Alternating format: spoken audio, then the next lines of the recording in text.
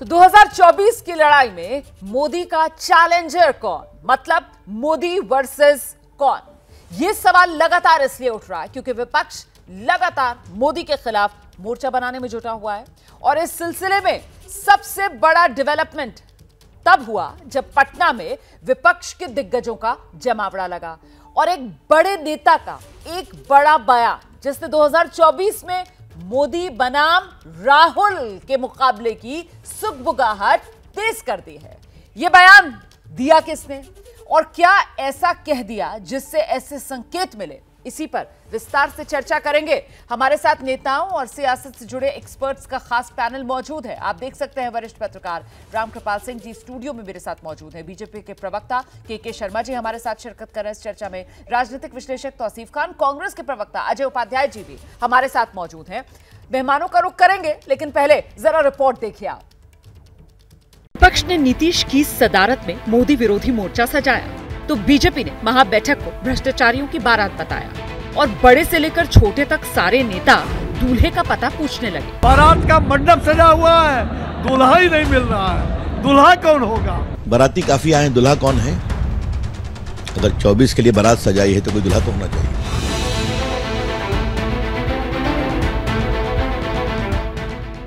BJP ने दूल्हे वाले सवाल से विपक्ष को नेतृत्व विहीन साबित करने की कोशिश की।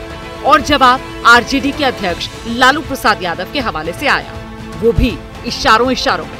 बात तो हम लोग का सलाह माने नहीं दिया नहीं किया शादी कर लेना चाहिए था। और अभी भी समय गया बीतता नहीं है। शादी करिए और हम लोग बराती चले। और लालू ने ये बात अपने खास स्टाइल में बेहद हल्के फुल्के अंदाज में कही। लेकिन इसके सियासी मायने निकाले जाने लगे। बात तो हम लोग का सलाह माने सवाल पूछे जाने लगे मोदी विरोधी पार्टियों की अगुवाई का जिम्मा क्या राहुल गांधी संभालने वाले हैं? अगर हाँ तो क्या विपक्षी पार्टियाँ राहुल का नेतृत्व स्वीकार करने को तैयार हैं? आइए चर्चा शुरू करते हैं। सबसे पहले मुझे लगता है रामकृपाल सर को आना चाहिए और बताना चाहिए सर ये दूल्हा बारात ये सेहरा किस बात के लिए सजाने की तैयारी लालू प्रसाद यादव करते नज़र आए राहुल गांधी के लिए? देखिए वो लालू जी का अपना अंदाज है। सब उनसे उम्मीद रखते हैं कि कुछ ऐसा बोलेंगे जिस पे लोग मुस्कराएँगे हंसेंगे। लेकिन जो कल लालू जी ने कहा उसके मायने हैं जो आप कह रहे हैं। देखिए नीतीश कुमार जी शायद राहुल जी को ही लेने के लिए एयरपोर्ट गए थे और बाकी विपक्षी के जो लोग आए मुझे लगता नहीं कि उनको लेने के लिए गए थे। तो एक बात तो ये तय है कि कांग्रेस का दावा बहुत मज़बूत है।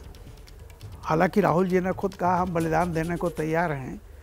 लेकिन अब तक का देखिए मैं ये कह रहा हूँ कि जो फैक्ट है ऑब्जेक्टिव कंडीशंस क्या हैं। इस मुल्क में आज़ादी के बाद से आज तक कोई भी सरकार केंद्रीय में केंद्र में अपना पाँच साल का कार्यकाल तभी पूरा कर सकी है। अगर उसका मुखिया कांग्रेस का हो या उसका मुखिया भाजपा का हो। इस इसके अलावा कोई भी जो तीसरा विकल्प अपनाया गया चाहे वो मोरारजी देसाई से लेकर के आई के गुजराल तक छह प्रधानमंत्री हुए और केवल मोरारजी देसाई ढाई साल पूरा कर पाए बाकी लोग कोई एक साल भी पूरा नहीं किए। तो देखिए सीधी बात है जनता आज जो 21वीं सदी में हम देख रहे हैं उस तरह के प्रयोग जो बहत्तर साल में कभी सफल नहीं हुए उस तरह का प्रयोग अगर मान लीजिए कि आप सीटें जीतने में इस तरह कामयाब भी होते हैं तो देखिए नेतृत्व का सवाल बहुत बड़ा है।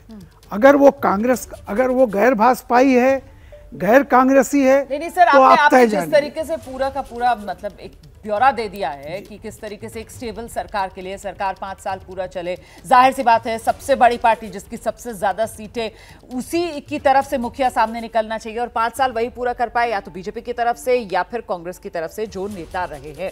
जैसे ही घड़ी का काटा दोपहर ढाई पे आए बबीता जी का दिल सास बहू साजिश के लिए मचल जाए। और ये है इनकी बहू।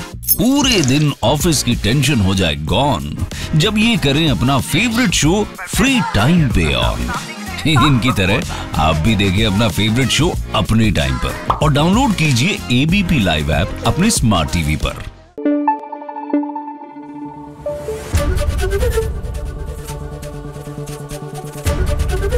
एबीपी न्यूज़ आपको रखे आगे.